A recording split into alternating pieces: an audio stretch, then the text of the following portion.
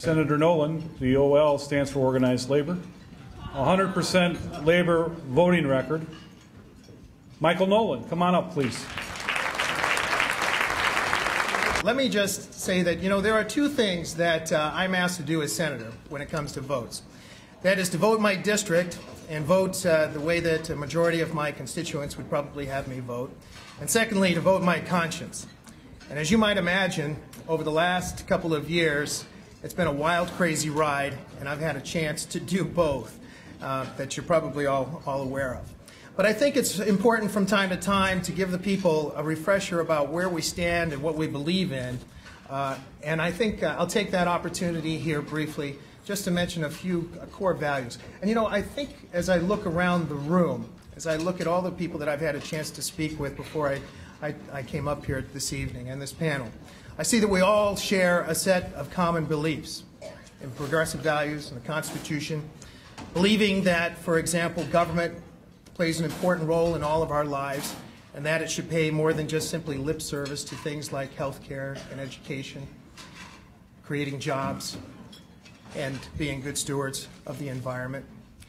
And as I look out here, I see that there are people also that believe in things like freedom of choice, equal rights, equal opportunity, and believe that the government, that we should also maintain a social network that takes care of the most vulnerable amongst us, namely, for example, our returning veterans who have gone to the fore and to the front lines for all of us.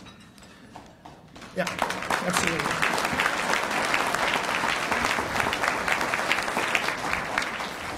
And I know as Democrats, we all believe in accountability in government. I'd like to echo some of the sentiments by the comptroller, fiscal responsibility, and investing prudently, which I salute our comptroller and our treasurer for doing so over the time that they have worked together. But part of that also means that we're, and part of the equation needs to be that we support things like a prevailing wage.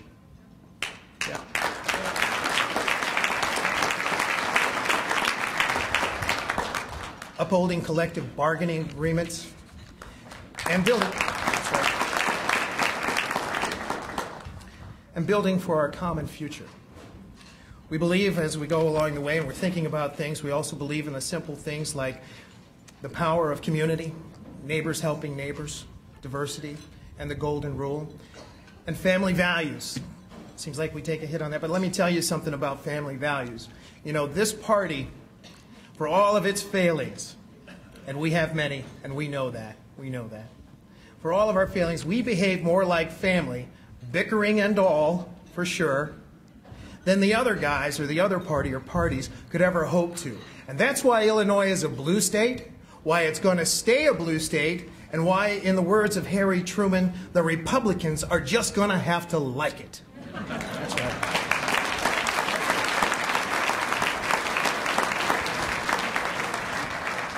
Now, I'm an optimist.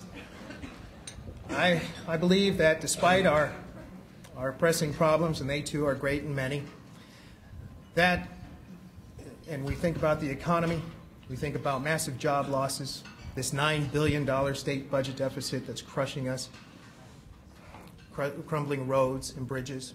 Despite all of those things, our best days lie ahead.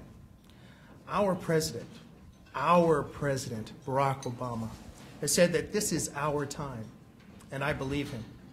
And it is no more true than here in the state of Illinois and for we Democrats. We have a new governor, we have a new Senate president, and we have a new General Assembly. We have in Kane County, we have newly elected Kane County board members. In my neck of the woods, Christine Castro and Jeanette Mahalik. Yep, that's right. Newly elected State Representative Keith Farnham, first, first Democrat taking that seat from Republicans. And for the first time, he's left now, but gosh, you got to see him. Our congressman, our congressman, a Democrat, elected in the 14th Congressional District, Mr. Foster went to Washington. These are the days. These are the days that we will remember. These are the days that we will look back and remember that the people turn to us with all of these difficult things that lie on our table. They turn to us with their dreams, and we turned their dreams into reality. One day, and may it be in the twilight of our years, after we have long since laid down the tools of our trades, we will look back and realize that this was the time that we harnessed the very forces of nature the wind, the sun, and Barack Obama and rose to the occasion, rose to meet the greatest challenges of our time. It is an honor to be the state senator from the 22nd district. I want to thank you all here for making that possible for me. Good night and God bless.